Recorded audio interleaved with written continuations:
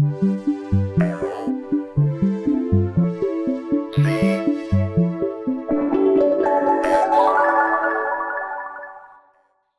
Chords is a four-channel additive layer priority mixer designed primarily for color mixing.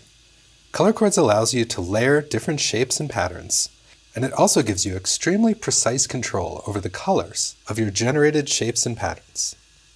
Color Chords features one full RGB color input. This allows you to chain multiple color chords for more than three channels of operation. The other three layers each have an opacity slider and a color control.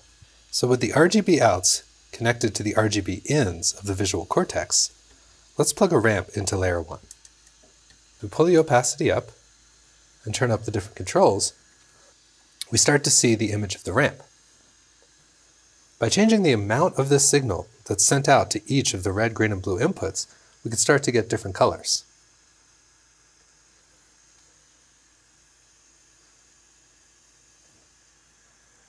So now let's pull in some different image sources. I'm going to take a different ramp, put it into the source of a staircase, and take this output into layer 2.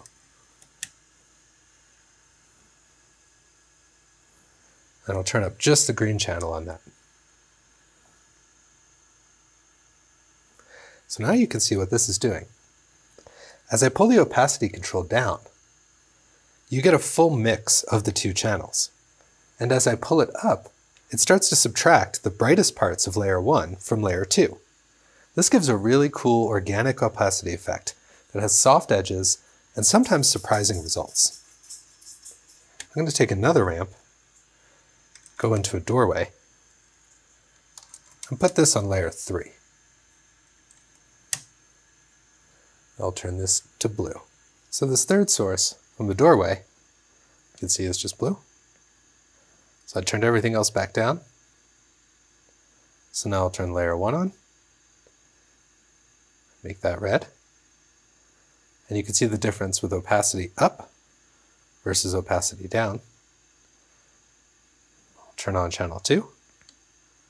And again, you can see the difference with the opacity up and the opacity down.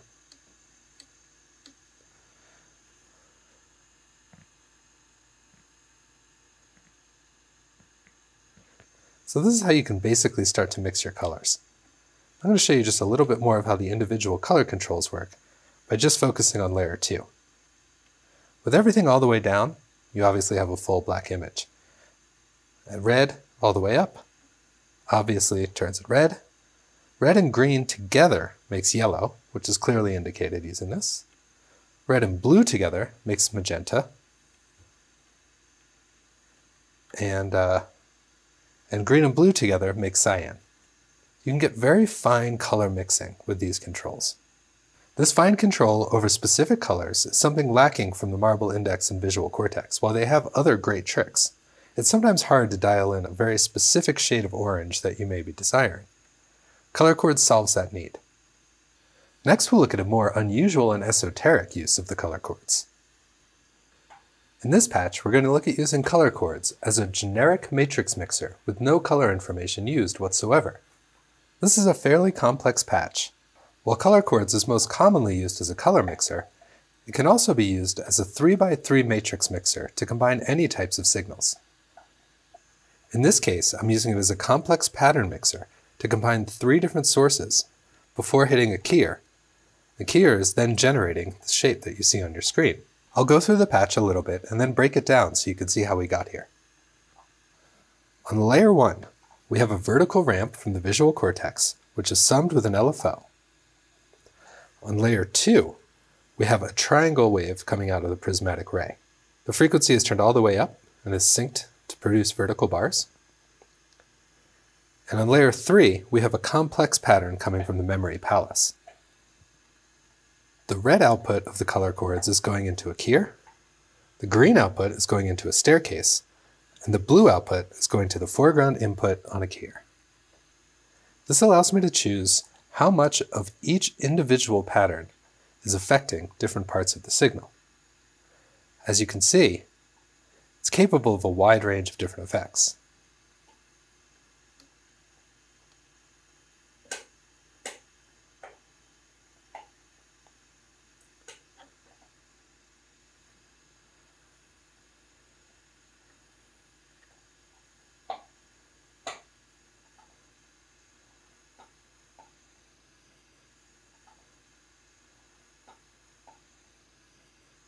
So if we want to send more of the memory palace to the keyer, we simply turn up its red control.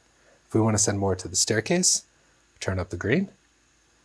And we have the blue turned up all the way to the foreground of the keyer. And we can pull that in and out. You can also play with the opacity controls.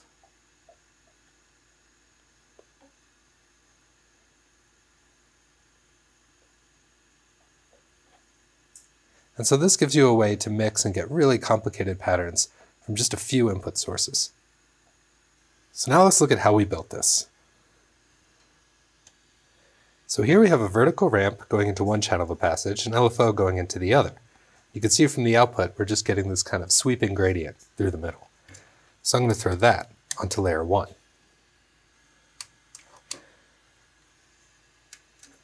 The next element of this patch is three vertical bars coming from a prismatic ray. So I'm going to throw this into layer 2.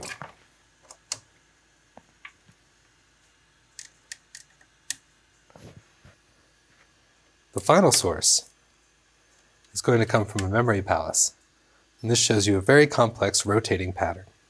I'm going to put this into layer 3.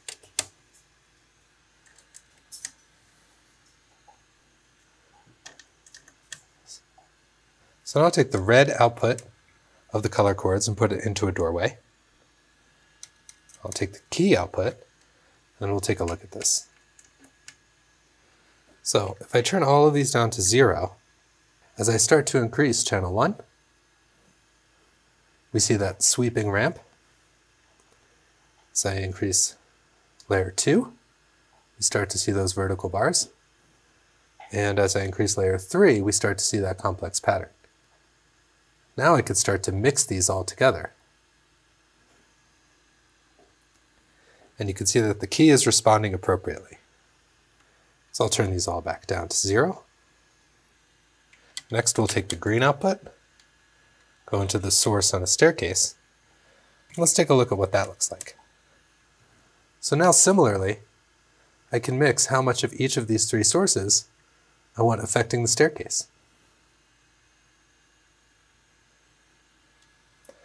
I'm going to switch this back so we're looking at the key and I'm going to plug the staircase output into the background input.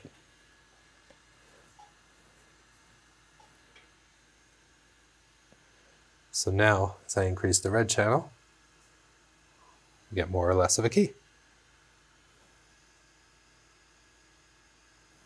So finally, I'll take the blue output and I'll put that into the foreground input. So now our blue channel is going to control foreground of our key. The green channel is going to control the background of our key, which is also patched into a staircase. And the red channel is going to define the overall source for our key. So this gives us a great way to control an extremely complex pattern.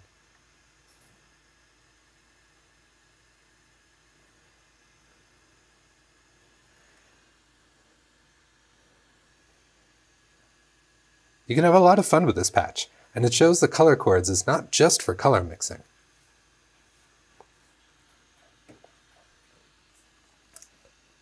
So here we have another somewhat complex patch that shows how color chords can be used with the visual cortex to give you more precise control over your color palette.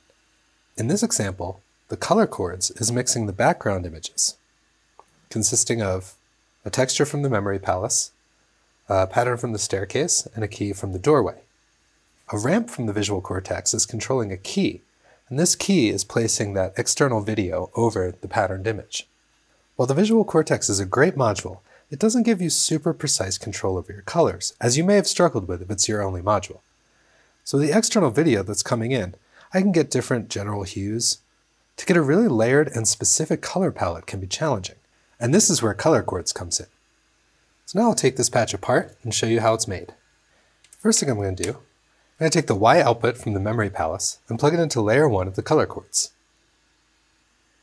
Here you can see a pretty simple pattern being generated by the memory palace. From here we can change the colors and adjust it till we get exactly what we want.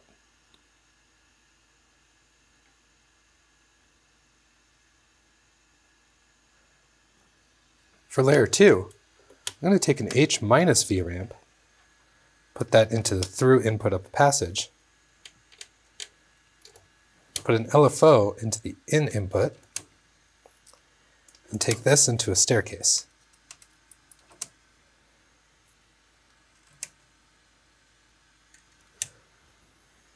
so then on layer 2, we have these nice modulating staircase shapes. For layer 3, I'm going to take a vertical ramp from Visual Cortex, put that into the source on a doorway, and then take the other LFO from Pendulum, use that to modulate the threshold. And that's going to look something like this. I have the softness way down. If I turn it up, we get these scanning bars. If I turn it down, there we go. And now we can get really, really specific with the colors. Also going to slow this LFO down a little bit. And we can adjust the opacity. Again, this gives us a very, very fine control over the kind of color scheme that we want for this piece.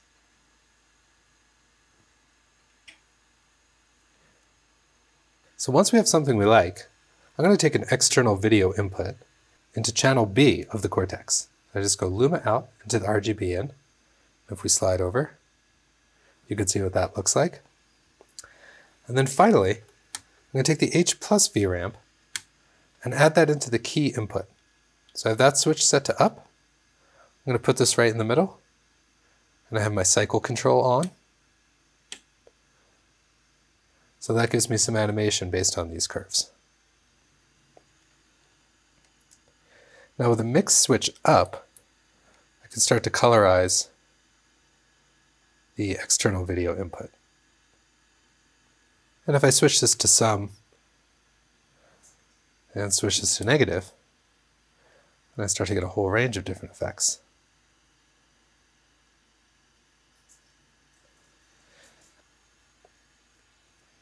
If I turn sum mode back off, you can see really clearly what that's doing. Turn negative off, and we're back to normal.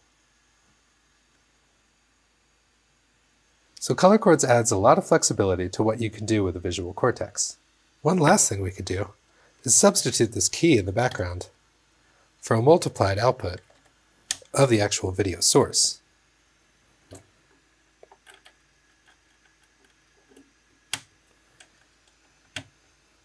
So I'm going to turn down layers 1 and 2.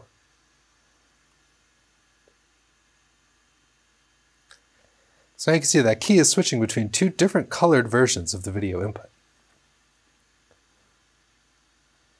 And of course I can start to mix in other things as well. So hopefully that gives you some idea of how to get started with color chords. Thanks for watching, and as always, please leave any questions or ideas for other patch videos in the comments.